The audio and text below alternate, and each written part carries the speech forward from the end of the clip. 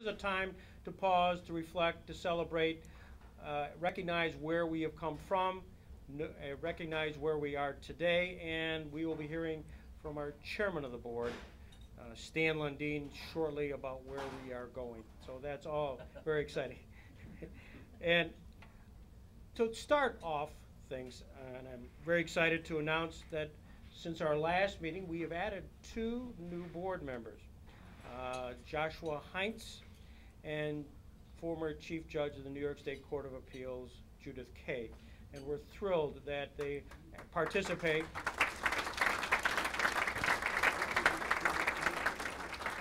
They've been participating heavily in various forms with the Jackson Center, and it's just a part of the process here where we started off in 2001 with a dream, a few people who paused, reflected, and thought it would be wonderful to advance the legacy of Justice Robert H. Jackson, a man of this area, uh, to Carl Kappa, Betty Lene, the Gebbie Foundation.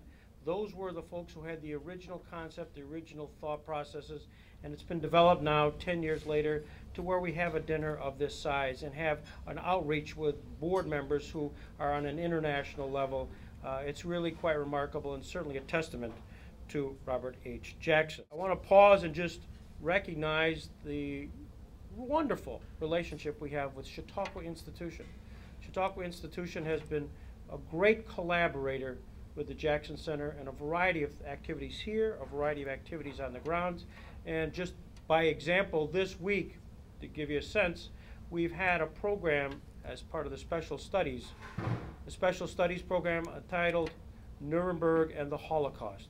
Doug Neckers and Eli Rosenbaum have collaborated to put together this incredible week, and which has included John Barrett leading off. We had an interview with Father Moritz Fuchs, Robert Jackson's bodyguard on Tuesday. Eli Rosenbaum wowed them today, uh, and we'll introduce Eli a little bit more later. David Crane is speaking tomorrow. He's on our board, and we'll be talking about, was it thugs? Diamonds, guns, and thugs. Diamonds, Guns, and Thugs. There's a title. So he'll be speaking tomorrow. And this all happens, by the way, at 9 o'clock at the uh, Hurlbut Church as part of the special studies. And of course, Doug Neckers will be talking on Friday uh, on IG Farben. Last night we had we were privileged to have Sandra Schulberg with us. Uh, is Sandra here? Yeah.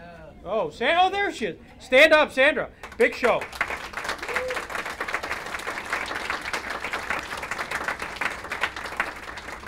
She premiered, for Chautauqua purposes, the movie Nuremberg, Its Lessons for Today, an outstanding uh, restoration project of her dad's work, uh, which included films which, uh, not only her dad, Stuart Schulberg, but her uncle Budd Schulberg. And it was a packed house, and everybody was engaged, so thank you very much for that. The Jackson Society, members of which you are a part, is at the highest level it's ever been. And I thank you. I thank you for your support in the past, and we look forward to your support in the future. Donors, people ask us all the time. Uh, numbers of donors, not necessarily Jackson Society, people who are writing checks, getting involved, is at the highest level it's ever been. We had 750 separate donors give money to the Jackson Center last year. Uh, all in all, we raised approximately $750,000 for the benefit of the center in 2010. Why did they do so? Principally because there's a sense of the Robert of Robert Jackson. Robert Jackson being, as John Barrett will say, a, a blue chip individual who's got a relevancy today. It's not just somebody who died in 1954, and we pause and reflect on that short period of time. In fact, this is somebody whose legacy continues to live today, whether it's the activities of the what's going on at the Supreme Court, activities that's going on in the International Criminal Court and international tribunals, activities which are going on in a variety of other settings. And we've had over the past few uh, months here individuals who have been talking about various aspects of the Robert Jackson life. For example, uh, Judge Raid Juhi, who was the uh, chief investigative prosecutor of the Saddam Hussein trial, was here. Uh, David Crane participated up at the Albany Law School for a Justice Jackson lecture. We've had uh, Gail Jarrow, who was the biographer of Robert Jackson, who did a youth biography uh, here. We've co-hosted events at the New York City Bar with Law, Justice, and Holocaust, Lessons for the Court of Today, which John participated in. We have had special studies lecture series. In fact, we were on C-SPAN. Uh, David Shribman, Eli Rosenbaum, Ken Hechler, Doug Neckers were all part of a program last year at this time. Phil Donahue, as you recall, gave our keynote address here last year based on his experiences with the Bar- West Virginia versus Barnette case. Our Robert H. Jackson lecture Jeff Schessel. Our fourth International Humanitarian Law Dialogue, Crimes Against Peace, the Crimes of Aggression in the 21st Century, occurred. We had our 10th anniversary celebration at Chautauqua Institution, which was a magic moment.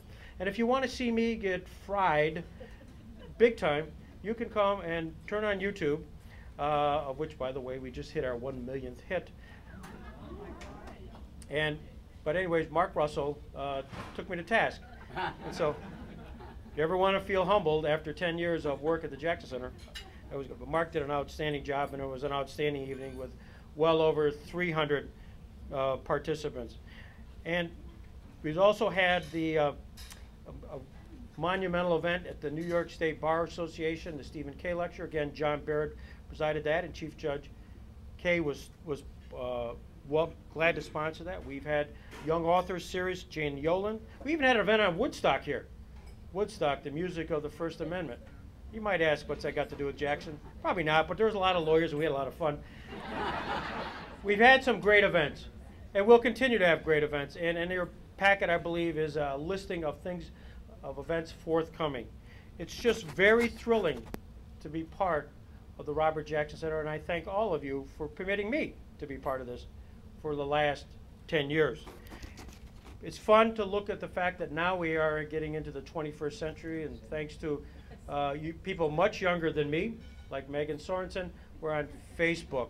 We, like I mentioned, we just hit a mil our millionth hit of YouTube activities. We have a Robert H. Jackson site, which has been, everybody seems to be much interesting. We have a, a, a website uh, through the assistance of John and Jen, which is becoming just better day by day by day. And what do you say? We look forward to 2011 and 2012 and our opportunity to pause and reflect and to gather together and commemorate the life and legacy of Robert Jackson. And all of you folks here are all part of that life and legacy. But my name is Stan Lundine, and actually, I'll.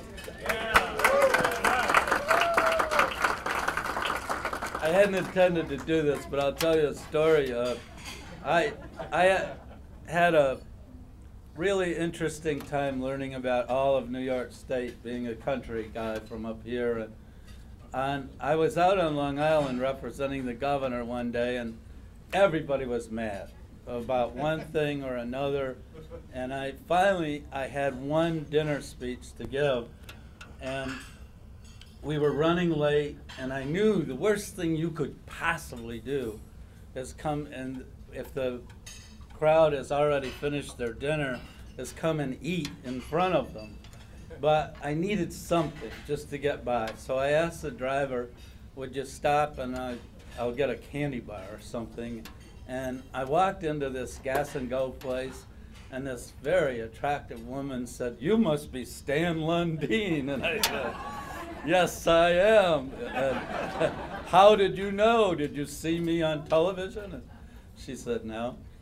And I said, Did you see my photo in, in Newsweek, in Newsday uh, or something? And she said, No. I said, Well, how did you know? She said, You left your name tag on.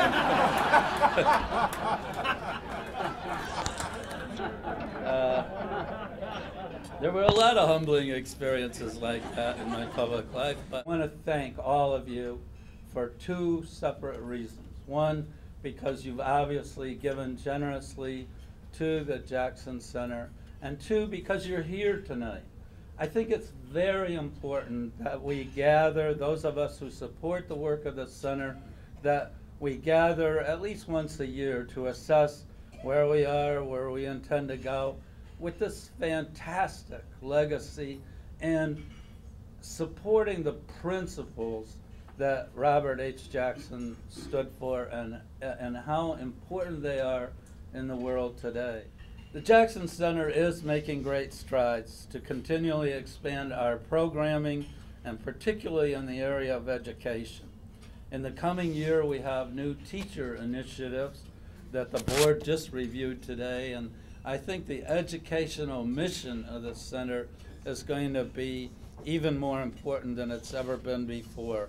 We'll have summer workshops, traveling exhibits, online learning tools, and of course, our digital archives are used by students and scholars around the world to continue to be a growing resource for study, along with special exhibits and offerings in this beautiful facility.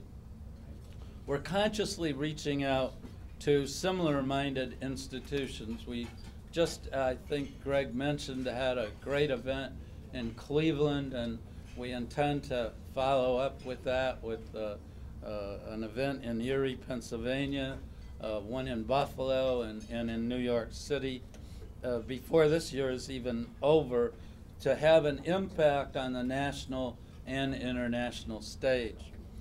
This reach is limitless when you think about our online uh, presence. There's an ever growing online community, such as our Facebook page with fans from over 30 countries, our YouTube channel with videos that exceeded 1 million hits, that Greg might have also mentioned, and a Twitter feed uh, within the moment news items, and a website with over 2,000 visitors a day. So um, our, our reach is even greater than ever before, and we're continually working on it. We are in a search for a new CEO, and it's progressing steadily. I- I'm very sorry that our vice chair, Joe Zanetta, couldn't be here today. He wanted to very much, but he's chairing that search and doing a, a great job. And we have um, both board members and some uh, other supporters who are involved in that. And I'm convinced that we're going to find an executive that'll lead us to an even brighter future in, in, in uh, the coming weeks and months. And that will complement the work of our fellow directors and especially uh, our leader, Greg Peterson, who will continue to be our leader. Whether he has the title of president or not, he will continue to be our leader, at least when it comes to the programming of this center. Uh, he is irreplaceable, in my opinion.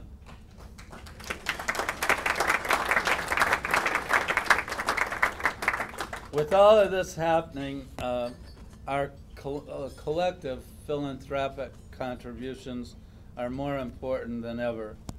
The economy has presented a challenge to us.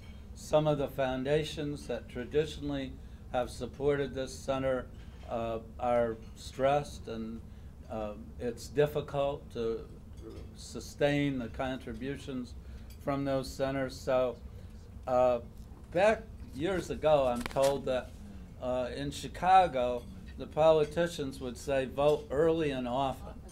Well, I'm asking you tonight, give early and give generously.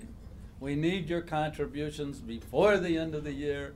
We ask that you give as much as you're able to because uh, our directors have a 100% commitment that we're going to contribute and we're going to match your contributions up to a total of $100,000 this year. So-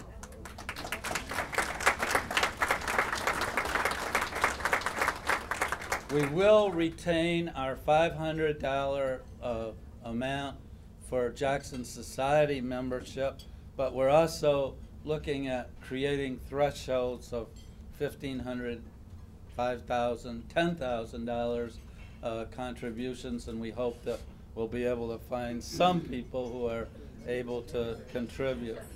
So as we enter the next 10 years I, I, of the center's life, I'm very optimistic. I'm very positive. I think this is something of a transition year, but we're going to be positioned much stronger as we go into 2012 and beyond. And so I want to thank you again for generously supporting uh, this organization and its mission. I know that you'll rise again uh, to meet the challenge with enthusiasm and benevolence. And so I thank you in advance for your uh, commitment and your contributions to the Robert H. Jackson Center.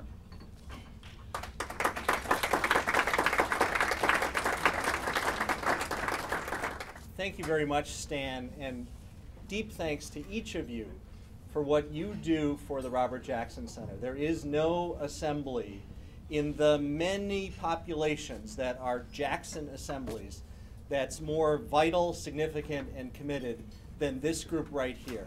Of course, you're geographically at Jackson Ground Zero, but you are financially, emotionally, intellectually visionaries that are leading really a world appreciation that will only continue to grow. You have, I hope, many investments, and with life's up and downs and recent markets, maybe some of them aren't surging, but you are investors here, and your rate of return is Madoff like.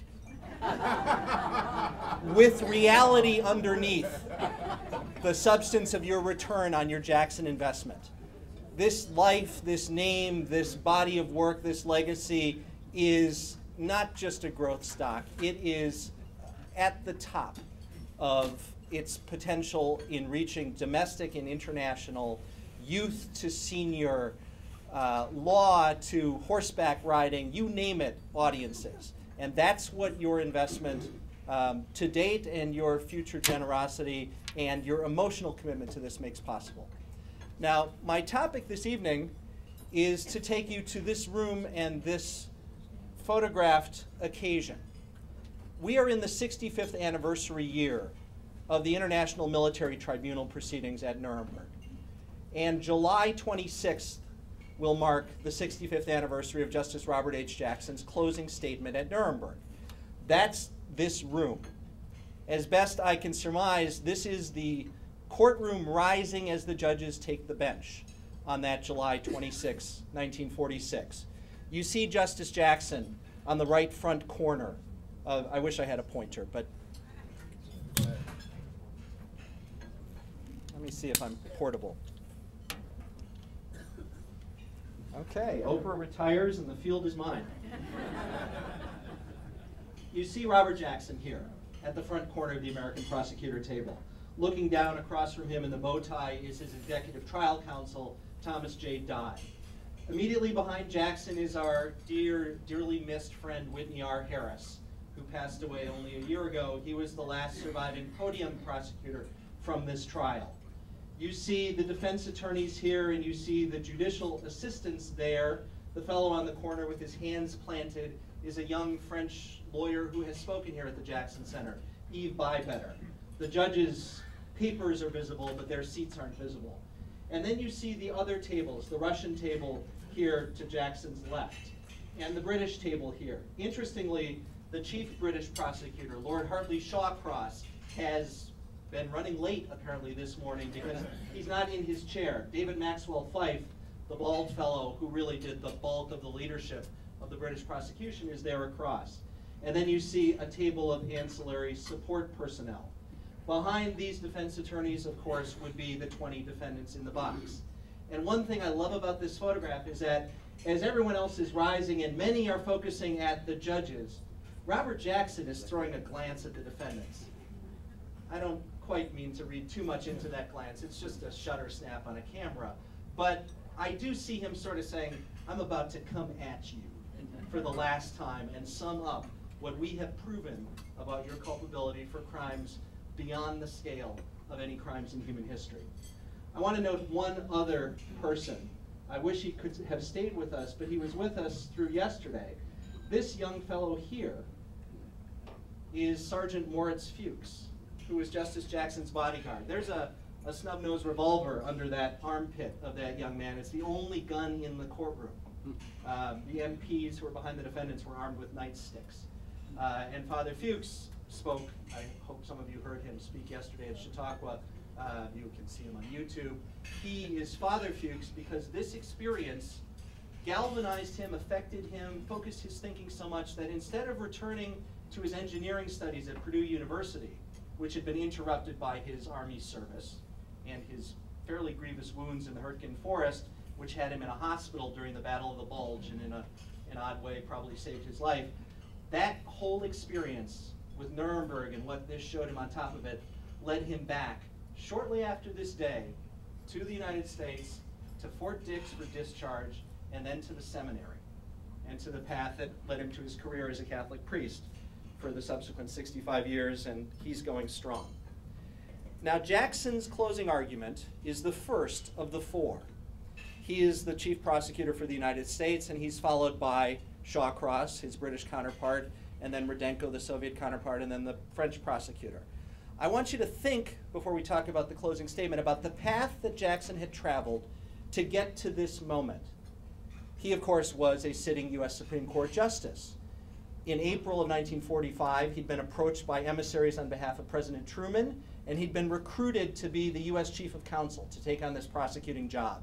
At the time he was recruited, the lead defendant who was still alive and envisioned as potentially in the dock was Adolf Hitler. Jackson is done writing his Supreme Court opinions for that term, and he's told that there's evidence assembled, there's an agreement across the Allies about procedurally how to proceed. All we need to do is win, which is very imminent militarily, to apprehend, which will be part of winning mil militarily, and then to commence this prosecution.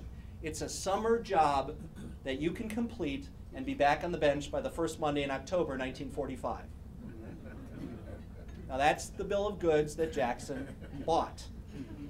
None of it was true. Of course, Hitler didn't show up to be a defendant, and neither did Himmler or Goebbels or a number of the other leading Nazis. Some did survive. But there was no agreement across the alliance. There was no assembled body of evidence. There were no cases teed up and ready to go. And this summer job, which by the way he took without checking with any of his judicial colleagues, turned out to cost him an entire year at the Supreme Court. And that became extremely controversial, including controversy stirred by some of his brethren who were frankly jealous of the appointment and bitter about the Jackson absence that caused additional work for them and the duration of this proceeding. So he's losing a year of his judicial career uh, to do this thing. This thing begins with the diplomatic job of the summer of 1945, negotiating, hard negotiating, across the four sided table at Westminster Abbey to reach the London Agreement, which is the procedural commitment to do this in a way that squares with a sense of fairness. It then involves assembling the staff and the evidence gathering process and drafting the indictment and picking the location and arranging the construction and getting ready to start the trial. That's September and October of 45. It's the opening statement and the start of the trial when they weren't really ready to go. One of his most important assistants, Sidney Kaplan, wrote the day before the trial opened to his wife in Minneapolis Tomorrow, Justice Jackson will begin one of the most, the second most important trial, he called it, in the history of man. The first was the trial of Jesus Christ, wrote Sidney Kaplan, a Jew. He said, after this trial starts, the judge will gavel it to order. Jackson will go to the podium and he will deliver a brilliant opening statement. And then we're totally in the soup. because we're not ready to go. It's chaos, it's improvisation. We're still putting together evidence books. We're still interrogating witnesses. We're still trying to get the order of proof lined up. But they did start that way on November 21. And then across the months, the nine months that lead to this late July 46 moment, they try this case. The four nations, the chief prosecutors and their staff, the U.S. proves the conspiracy to wage aggressive war and the breaching of the peace. Jackson and his senior assistants present documentary evidence, powerful film evidence assembled by the Schulberg brothers. Um, they are at the podium, including Whitney Harris in January of 1946. In February, they're done, and Jackson is presenting the very complex, difficult legal argument about the criminality of Nazi organizations. In March, the defendants begin their cases, and Jackson cross examines four witnesses, not just Hermann Goering, in that month. In April, he's doing more cross examination, and in May and in June. He's also managing the diplomatic facet of this, which involves coordination not with just the three allies, but the 18 other small nations which were signatories to the London Agreement and subscribed to this and really were part of what was being vindicated by the Nuremberg prosecution. As this trial moved forward, they wanted a piece of Jackson to fet him, to bring him to Brussels, to Stockholm, to London, to Paris, to Prague. Jackson's doing that traveling. It sounds like, you know, a deluxe European vacation until you remember we're talking 1946. This is rubble hopping. And he's writing profoundly moving, powerful speeches explaining to those audiences what's being done legally and factually to vindicate what they had experienced as victims of an aggressive war. And then, just to add a domestic flavor to it, in April of 1946, the Chief Justice of the United States, Harlan Stone, had dropped dead, and Jackson had briefly been chosen by Harry Truman to be the successor, and then had been sabotaged by an incredibly dirty domestic campaign, which didn't much bother Jackson in terms of the Chief Justiceship, contrary to some accounts you might read. What a terrible job to be the chief of that crowd, was really his view. But to be done dirty, to have people trash him falsely, got under his skin in a big way. And after a new chief had been appointed, Jackson, with perhaps poor judgment, opened up publicly on some of his brethren to defend his good name. And then, of course, he's got to pull this all together. And so in May, across June into July, he begins to write, and that's what this guy did, it's part of his greatness, this closing argument. He does it the Jacksonian way, fountain pen, yellow pad, and a lot of those pieces survive. And then scissors, and they were short on paste pots, so there are stories of scraps blowing around when windows were opened and so forth. But it's assembling pieces, it's getting script typed, it's marking up typing, retyping, etc., etc. He's working on this summary of the biggest, most important evidentiary presentation prosecutors have made in human history. He steps into this courtroom with all of that weighing on him, behind him, deep inside of him, and he throws that look, which is a look of focus at the thing that matters most, completing the job with regard to them, the principal Nazi defendants. Now, how do I know this is July 26? There are lots of photos taken by lots of people. I know it because of this. Anna Harris, Whitney's widow, had a lovely phrase. She referred to him as perhaps the second most handsome man in the courtroom. Uh, and she's right about Whitney's good looks. This is Whitney. That's Stuart Symington. What's he doing there? Well, the answer is he's not on the staff, but he is the secretary, the assistant secretary of the Army, and he's on a tour. And the one and only moment he's in the courtroom happens to be this VIP day. So when you see Stuart Symington, subsequently United States Senator, you know you're looking at July 26. That's Jackson at the podium. In the previous shot, you saw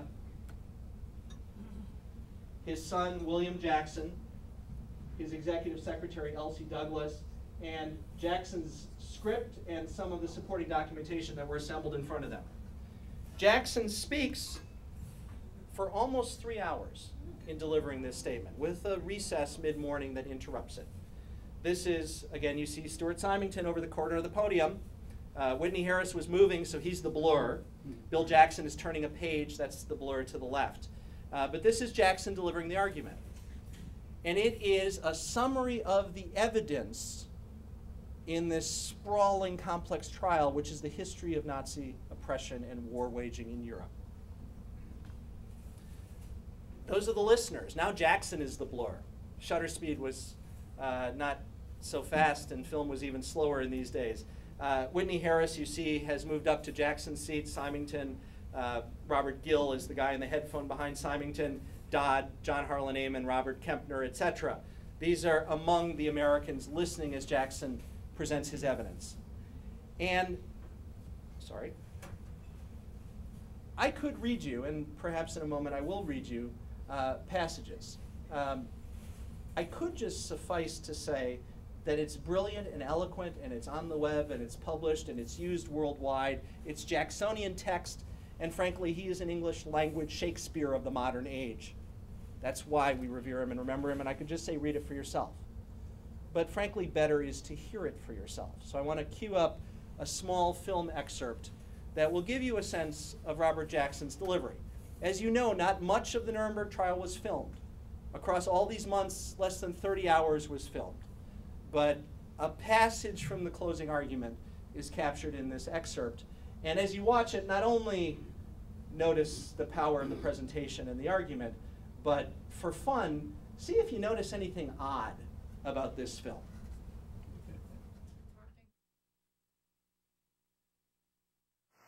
Mr. President and members of the tribunal, an advocate can be confronted with few more formidable tasks than to select his closing arguments where there is a great disparity between his appropriate time and his available material. In eight months, a short time as state trials go, we have introduced evidence which is, embraces as vast and varied a panorama of events as has ever been compressed within the framework of a litigation. It is impossible, in summation, to do more than outline with bold strokes the vitals of this trial's mad and melancholy record, which will live as the historical text of the 20th century's shame and depravity. It is common to think of our own time as standing at the apex of civilization, from which the deficiencies of preceding ages may patronizingly be viewed in the light of what is assumed to be progress. The reality is that in the long perspective of history, the present century will not hold an enviable position unless its second half is to redeem its first. These two score years in this 20th century will be recorded in the book of years as one of the most bloody in all annals. These men saw no evil, spoke none, and none was uttered in their presence. When we put all of their stories together, this is the ridiculous composite picture of Hitler's government that emerges.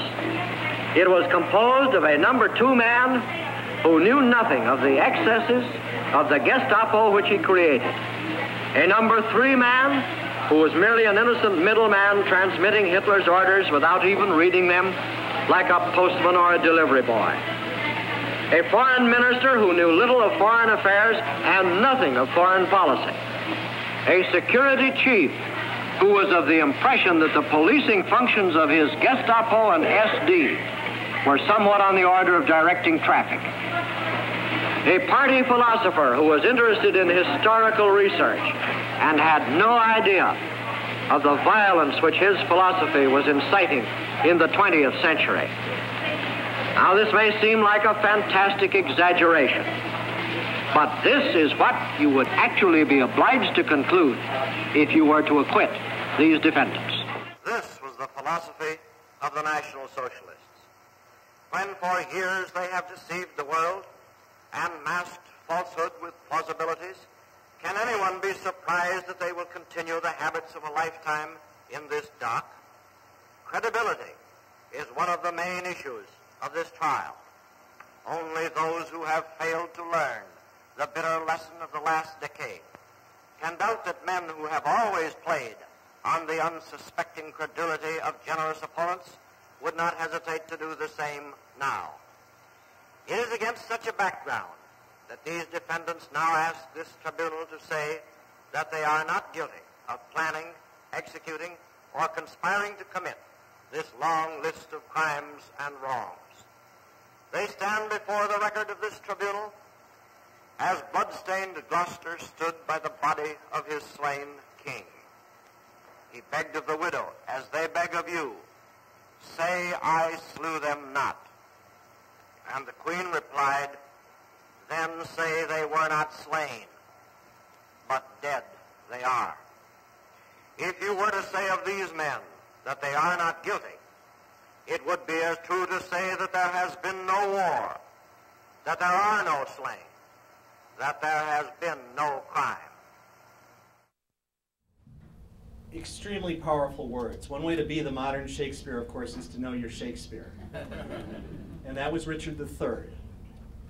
And Jackson wrote that from memory in his first draft. There are apocryphal stories of him asking people to get the collected works of Shakespeare. That's baloney. Jackson learned his Shakespeare right here in Jamestown, and he carried it with him to Nuremberg. He had plenty of luggage, but this was not a physical article. It was something that was part of his intellectual greatness without a day of college, thanks to the Jamestown High School and Mary Willard.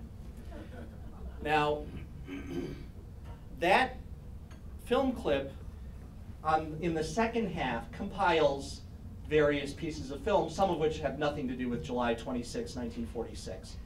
The first half, however, uh, is what I wonder if you uh, looked closely at and noticed anything odd about. It's reshot. Different time. His tie changed. Mr. Doyle spotted it. Uh, trial lawyer, fact spotter. Uh, Jackson is a long necktie guy in the real photos, and that footage shows him standing wearing a black tie, a bow tie. Um, indeed, he was wearing evening clothes, and if you look closely at it, you notice something else odd. The British prosecutors all apparently were legless because behind him you see only chair legs and no human feet. And what's the explanation? That wasn't July 26th either. A couple of days after the Jackson closing statement was concluded, word reached him that the Army Signal Corps or whoever was supposed to be on the job had filmed not any of his closing statement. And although he had another pressing engagement, and I will come back to that that evening, for which he was already attired, that created a priority to go down to that courtroom and reenact it, to dummy it up. And so that is Jackson on the night of July 29th, dressed for a social occasion, rereading some passages for cameras to create newsreel footage and, luckily for us, historical footage. Now, the night of July 26th, uh, Jackson had a quiet night, actually. Um, he was, of course, going to be seated and attentive. Shawcross was doing his summation the next day. Um, but the younger fellows went out, and I want to show you this uh, July 26 evening photo. Bill Jackson is at the back left corner of the table, and two up from him on the left side, chin raised and smiling, is our dear friend, much missed, Henry King. Bill Jackson and Henry King had been college classmates at Yale. And Henry King was a you rah rah Eli, and he organized this Yale at Nuremberg reunion dinner at the Grand Hotel. Um, and so that's their gathering. You can see the only tuxedo is the, frankly, probably desperately poor German fellow who was serving as their waiter, waiter was probably a very scruffy tuxedo. And whatever scraps of food and tips and cigarettes he went home with was probably abundant riches uh, in the circumstances of his life. Two nights later, three nights later, July 29th, Jackson hosted his goodbye party. He was about to fly back to Washington.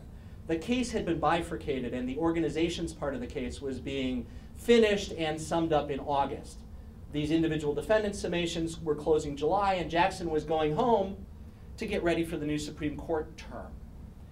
He threw a big party at his home. Um, I'm sorry, not at his home, at his VIP house because he really invited everybody. And you can see some women in long dresses. But the fellow in front, uh, maybe the handsomest man in this room, with a drink in his left hand, is Whitney Harris. And I was delighted to find this photo and show it to Whit a couple of years ago and say, Do you remember this? And it was actually 2008. Whitney's health was failing. He didn't miss a beat. He said, Jackson's goodbye party. That was a party. and I said, Who's your buddy? And Whitney paused and he looked at it, kind of thought. He said, It's a Russian. I have no idea what his name was, but boy, could that guy drink.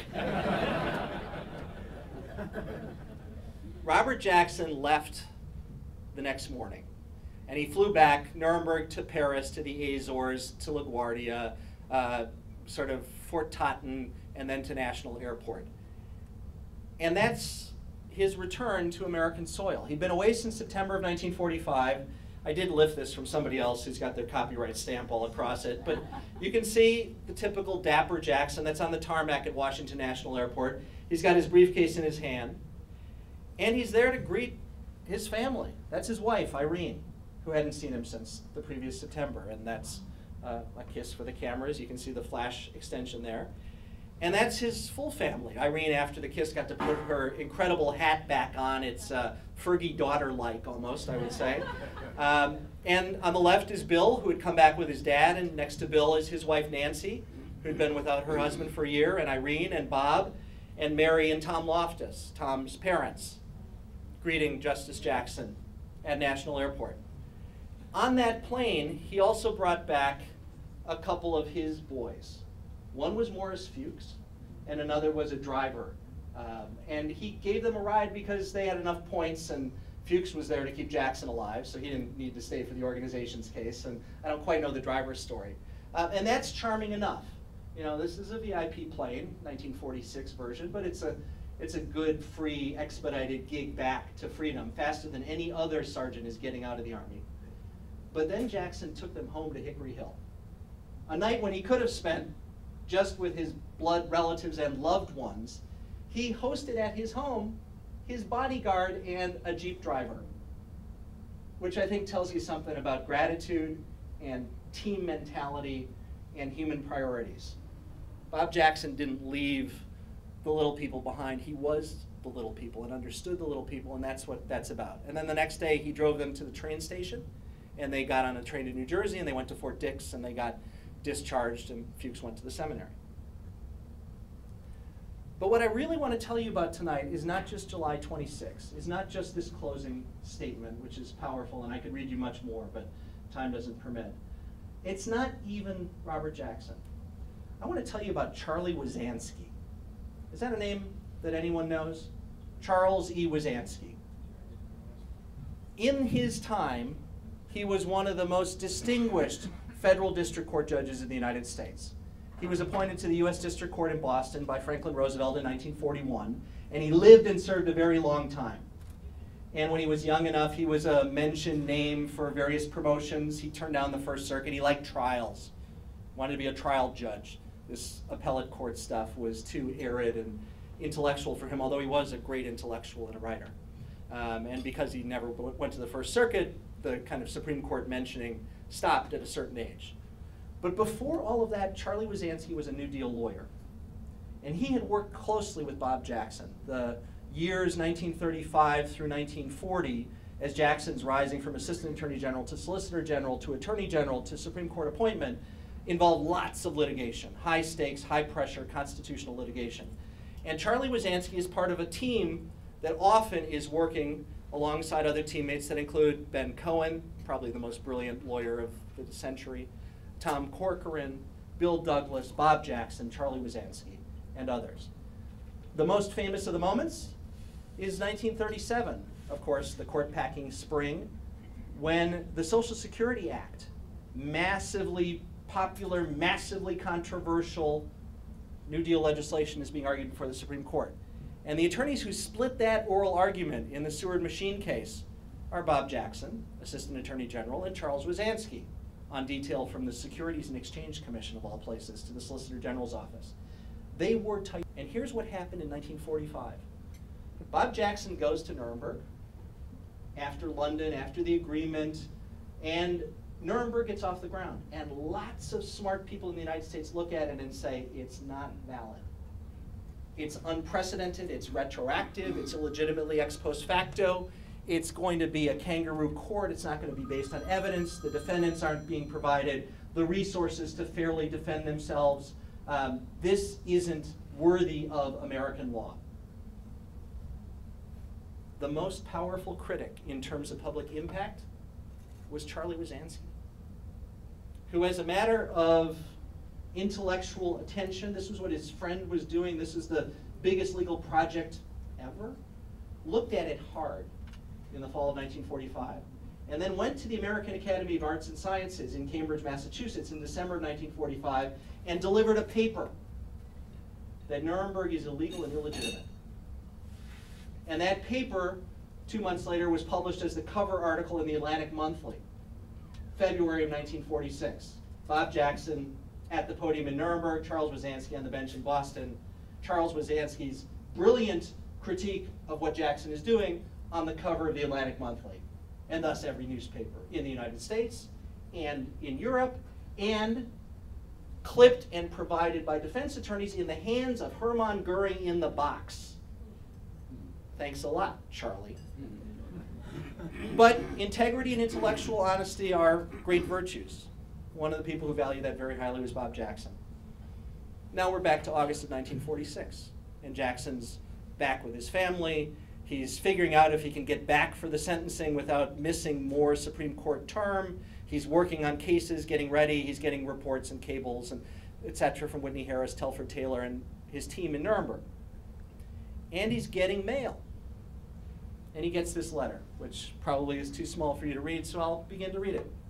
August 11, 1946. Dear Bob, you may perhaps be mildly interested to know that your article in the New York Times Magazine section, which is an excerpt from the closing argument, etc., etc., etc., and prolonged reflection have made me change the views I expressed before the American Academy of Arts and Sciences in December of 1945, which were reprinted, as if Jackson didn't know, some months later in the Atlantic Monthly. I believe that your judgment in initiating and planning the Nuremberg trial was sounder than my original criticism. The main issue was whether to deal with the offenders summarily, in other words, a firing squad, or to give them a public hearing with full, underscored, opportunity to be heard. And on that issue, I am now persuaded you were right. As to certain subsidiary issues, I probably still disagree with you, but I see no point in going over that ground again.